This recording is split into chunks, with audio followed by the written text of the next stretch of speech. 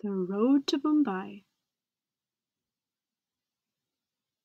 In the middle of the night, Shoba's monkey, Fuzzy Patel, tickled her cheek. Fuzzy was covered in fur except for the smooth spot on his tail that Shoba used as a handle when she carried him. What? Here's Shoba waking up. We must leave for Mumbai tonight, Fuzzy announced. My dear cousin Puri is getting married there tomorrow. I love weddings, Shoba said. She had flown to India once before on a jumbo jet with her parents. Shh, Fuzzy whispered. This wedding is top secret. It would be most improper if the common riffraff showed up, expecting to be invited. Shoba knew that Fuzzy could be a bit of a snob, but before she could reply, he unrolled a map of India. While you were sleeping, I was able to pinpoint our destination. Let's take the bed. Airplanes are so stuffy, Shoba said, sliding deep under the covers. With a bump and a puff of smoke, the bed began to whir and spin, and they zoomed off into the night. Hours later, they landed softly somewhere far from Mumbai. Oh dear, Fuzzy cried, twisting his tail. My calculations seem to have been incorrect. It will be such a disgrace if we arrive late to the wedding and miss the singing, dancing, and tasty food. A curious camel named Ismail overheard Fuzzy and offered to take them to Mumbai. As they trudged through the dry desert, Shoba grew hot and thirsty. Finally, they found the road to Mumbai and a boy named Anil, who was selling fresh coconut juice. When Shoba took a drink, it felt like a cool waterfall running down to her toes.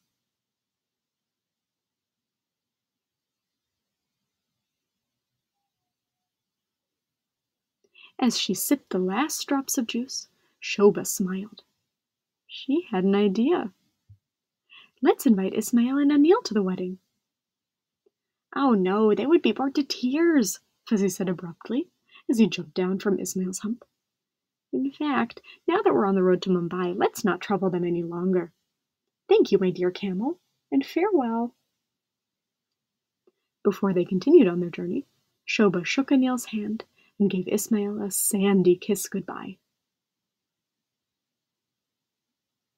A few moments later, they had to stop to let a line of elephants cross the road. Fuzzy twisted his tail impatiently. This is most inconvenient. Excuse me, but we're late for a wedding, Shoba said politely to an elephant. Then she climbed up its trunk, ran across its back, and jumped down to the other side of the road. Wait for me, Fuzzy cried. And in case you were wondering, he called to the elephant, this wedding will be quite dull. No singing, no dancing, and the portions of food will be far too small for an elephant to enjoy.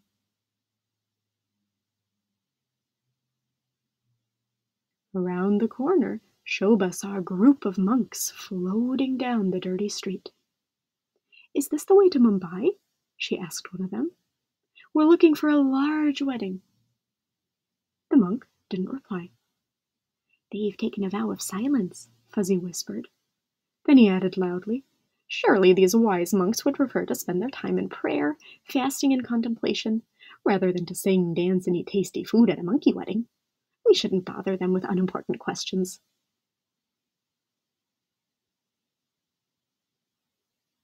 Farther down the road, they found an old man sitting beside a large basket. Suddenly, the lid popped off. Before Shoba could scream, the snake charmer pleaded. Don't be afraid of Asha. Loud noises upset her digestion. Look. The snake in Fuzzy's tail had started to tango.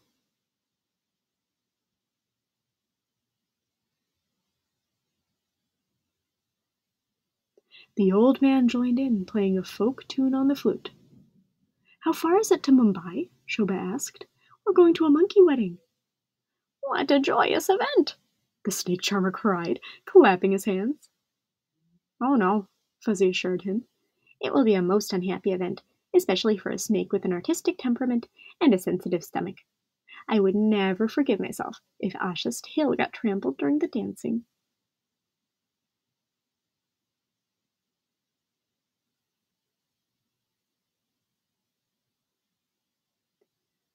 But Mumbai is in the other direction, the snake charmer told them. Don't worry though, the Mumbai Express should be arriving at any minute. At that very moment, the Mumbai Express rolled up to the corner. Running as fast as she could, Shoba grabbed Fuzzy, shut her eyes, and jumped.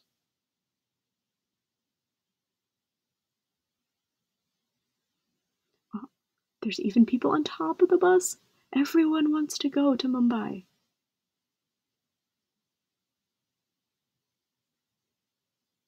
It was getting dark when the bus finally reached Mumbai. Cars, scooters, bicycles, dogs, cows, rats, roosters, and rickshaws rumbled past them. The shiny saris of women walking beside the road fluttered like butterfly wings. Fuzzy approached one of the women. Pardon me, have you by any chance seen a large striped tent? There's one just down the road.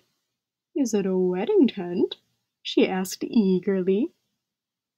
Yes, but will be one of the most boring weddings in the history of the universe, he answered, scurrying past her. In front of the tent, Fuzzy's cousins Cecile, Kumar, and Raja were playing funky monkey music. Fuzzy looked around excitedly. Where are all of the honored guests? Well, said Kumar, the Balarajis have a sick grand monkey, the Tamarins are expecting a little one. The Jaipurs are in Bali on vacation. The. Oh dear, Fuzzy interrupted as he twisted his tail. This wedding is going to be a disaster of enormous proportions. But before Fuzzy could twist his tail right off, Shoba cried, Look, I think the guests are arriving. It was the best wedding Shoba and Fuzzy had ever been to. The air smelled of sweets and spices, and everyone ate laddus, jalebis, and gulab jamun until the singing and dancing began. Then Puri and her new husband, Bikram, gave each guest a sparkling peacock feather before they hopped into a rickshaw to go on their honeymoon.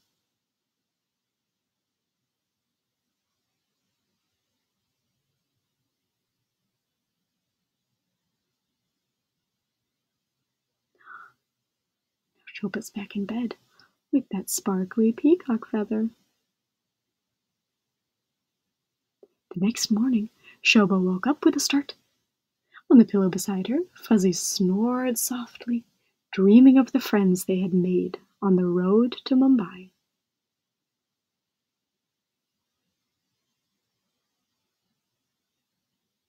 And here's a map of their route.